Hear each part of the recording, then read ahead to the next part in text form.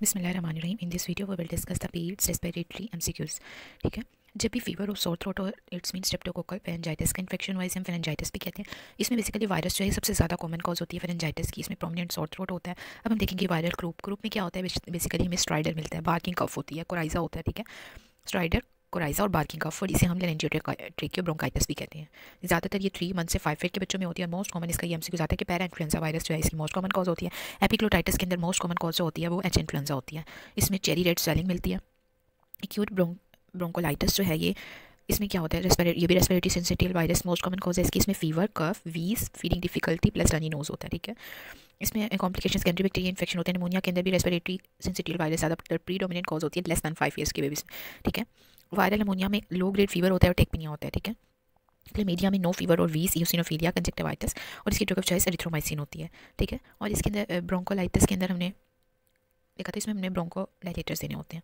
अब हम देखेंगे निमोनिया निमोनिया का कंफर्म डायग्नोस हम एक्सरे पे ही करते हैं। इसको आपने याद रखना है कि जो पी पी वाले हैं ना, यानी कि स्टेफ सॉरी एस एस वाले। स्टेप्टोकोकस और स्टेफ फोरियस ये दोनों लोबार नमोनिया काज करते हैं। ये एम सी आते ही आपने अच्छे से करने ठीक है?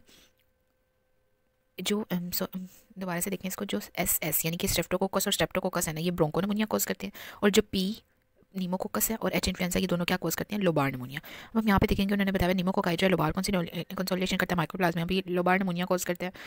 इसके अलावा जो प्लूरल एफियन होता है, इसके अंदर स्टोनी डेल पर कशन मिलती है हमें मेनली और नमोनिया इसकी मोस्ट कॉमन कॉज होती है। नीमोथोरक्स जो ये मोस्ट कॉमन कॉज है इन द ओल्डर इन्फेंट ठीक है? स्पॉन्टेनियस हो सकती है।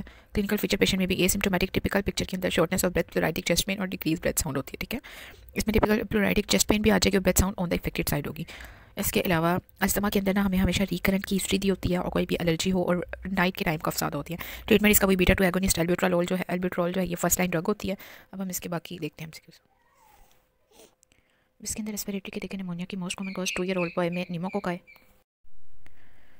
नमोनिया का पॉजिटिव एजेंट नीमोकोकाई होता है अस्थमा की इनिशियल मैनेजमेंट में ब्रोंकोडाइलेटर्स देते हैं हाइलैंड मेम्ब्रेन डिज़ीज़ की बेस्ट मैनेजमेंट जैसे सर्फेक्टेंट होती है एनी जनरल डेंजर साइन जो है वो stopping feeding well कन्वेयन abnormal sleepy difficult to wake wheezing fever low grade temperature start ये सब किसमें होते हैं? स्वेयर नमोनिया के अंदर। अस्थमा के कोरिलेशन किसके साथ होता है? एक्जिमा के साथ होता है, ठीक है? Next second treatment rest R D S के अंदर जो ट्रीटमेंट होता है, वो सर्फेक्टेंट होता है अस्थमा का ट्रीटमेंट साल्बिटामोल है नमूनिया की most common cause group B streptococci होती है न्यू नीड्स में, ठीक है? Drooling saliva plus respiratory distress किसके अंदर होता है? ट्रिकियस फिस्टुला में बेसिकली ये एपिक्लोटाइटिस में भी होता है। नेक्स्ट देखें प्रिंसर ग्रेफ जो होता है वो ऑलमोस्ट पेयर होता है नाइन मंथ पे थ्री डे ओल्ड चाइल्ड वाला तो jaundice mother O positive baby it's mean अगर तो जल्दी आ गया थ्री ट्वेंटी फोर आवर के बाद आया इट्स मीन फिजोलॉजिकल जॉन्डिस उससे पहले आया तो आर एच हेमोलिटिक हो सकता है. Photo sensitivity plus butterfly rash किसमें होती है एस के अंदर. अब normal chromosome trisomy twenty one Down syndrome में होती है. Drooling of the next muscle क्यों होते हैं? ड्रूपिंग क्योंकि हाइपोकेलीमिया हो जाता है. लो बर्थ वेट के बेबी टू पॉइंट फाइव के से कम होते हैं. कॉम्प्लिकेशन डायबिटिक मदर में माइक्रोसोमिया होता है. ठीक है? Delivering at the twenty nine week पे डिलीवर हुआ difficult in the delivery intercostal recession किसमें होती है? आरडीएस में। पॉजिटिव एजेंट निमेटोसील जो है वो किसकी है? कॉम्प्लिकेशन की बहुत ज़्यादा है। स्टेफ्लोकोकस की कॉम्प्लिकेशन होती है निमेटोसील ठीक है? कफ विद रेस्पिरेटरी डिफिकल्टी और फीवर हाई है बायलेटरल वीज में रही है। जब भी बच्चा दो महीने से दो साल से कम का बर्चमिन ब्रोंकोलाइटिस है। ऑडिबल हार्श साउंड को हम क्या कहते हैं? स्ट्राइडर ठीक है? नेक्स्ट देखिए। न्यूनटोलॉजी इसमें तो ऐसा कोई भी नहीं दिया हुआ न्यू ये दिया हुआ है height of the children four year पे कितनी चाइल्ड हाइट होती है हंड्रेड सेंटीमीटर लॉन्ग स्ट्रेचर हो गाइनकोमेस्ट्री हो और जब भी आएगा ना long limbs it's mean Klinefelter इसका क्रोमोसोम याद रखना forty seven double X Y ठीक है? अगर न्यू बॉर्न बेबी है, उसकी पीपीटी ईपीटीटी भी प्रोन हो गया बेलोरोपिन का लेवल भी इंक्रीज है इट्स मीन डीआईसी हो गया। अगर बेबी होम में लिवर हुआ ट्वेंटी एट सेकंड का एपीटीटी है seventy six bleeding it's mean hemorrhagic disease है। आर ए भी नेगेटिव है, और ए एन ए भी A N A positive A N A positive it's mean juvenile idiopathic arthritis ठीक है? Investigation for the genetic disorder karyotyping आएगी। Rash plus कितनी है एस एल ई होगा। Child who does not behave properly psychological consultation ठीक है? Next second bleeding from the डाइकस after delivery it's mean vitamin K की deficiency है।